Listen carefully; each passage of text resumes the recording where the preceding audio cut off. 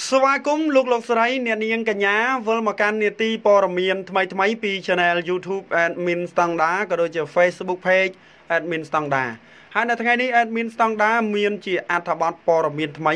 ក្តៅដែលតាក់ទងទៅនឹងដល់ក10នាក់ចេញធ្វើសកម្មភាពលួចចាប់បាន2នាក់រកឃើញឆ្កែជិត10ក្បាល។ រាជធានីភ្នំពេញជនសង្ស័យចំនួន2នាក់ក្នុងចំណោមបពពួក10នាក់ត្រូវបានកម្លាំងអន្តរាគមខណ្ឌជ្រោយចង្វាចាប់បាទខាត់ខ្លួនបន្ទាប់ពីធ្វើសកម្មភាពជិះម៉ូតូដើរតាក់សត្វឆ្កែតាមផ្លូវសាធារណៈបង្កឲ្យមានការភ្ញាក់ផ្អើលកើតឡើង កាលពីវេលាម៉ោង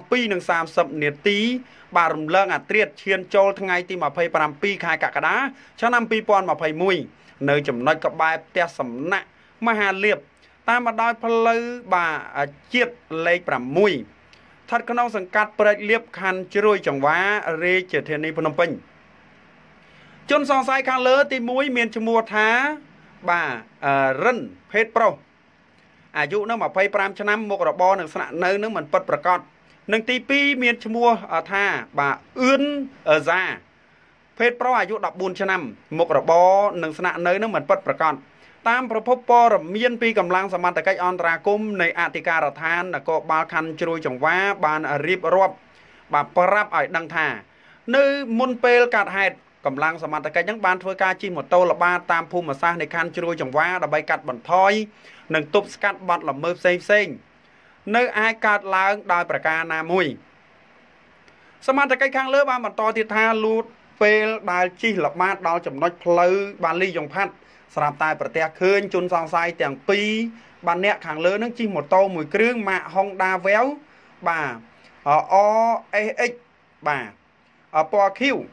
ពាក់ស្លាកលេខបាទគ្មានស្លាកលេខ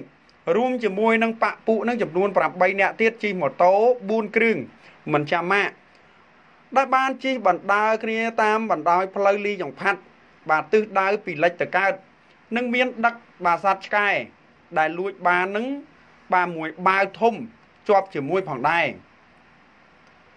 សមត្ថកិច្ចបានបន្តទៀតថាបន្ទាប់ពីឃើញក្រុមជនសង្ស័យដែលជាមុខសញ្ញាលួចតាក់សត្វឆ្កែយ៉ាងសកម្មនៅក្នុងភូមិសាស្ត្របាទខណ្ឌជ្រោយចង្វានោះ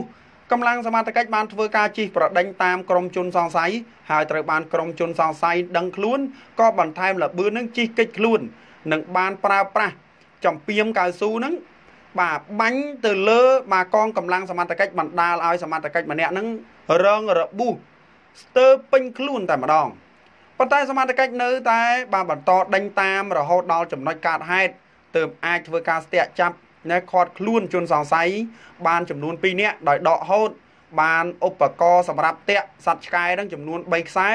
និងឆ្កែដែលបានតាក់បាននឹងជិត10ក្បាលសុទ្ធតែងាប់អស់ហើយ ចំណែកបពពួកបាទចំនួន8នាក់ទៀតបាននាំគ្នាជិះរត់គេចខ្លួន បាត់ស្រមោលអស់តែម្ដងបច្ចុប្បន្នជនសង្ស័យ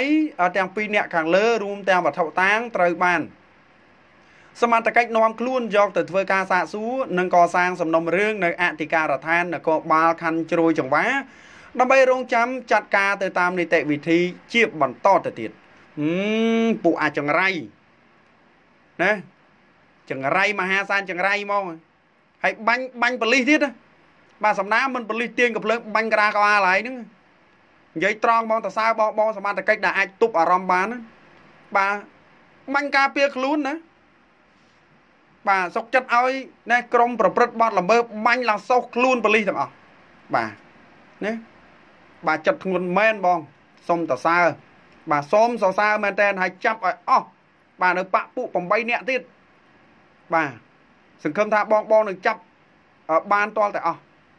បើដើរតាក់សัตว์ឆ្កែគេនេះមានទាំងអាបែកសេផងមានទាំងអីផងបាទហើយគេទិញឆ្កែមកតម្លៃបាទរាប់រយដុល្លារយកមកចិញ្ចឹមហើយឲ្យពួកណែលោកឯងនឹងយកមកចូលលួចគេដើរលួចគេតាមផ្លូវហ្មងបាទអញ្ចឹងតកតទៅនឹងអត្ថបទព័ត៌មាននេះក៏មានតែប៉ុណ្្នឹងដែរជាចុងក្រោយ admin សង្ដាសូមជម្រាបលាបាទ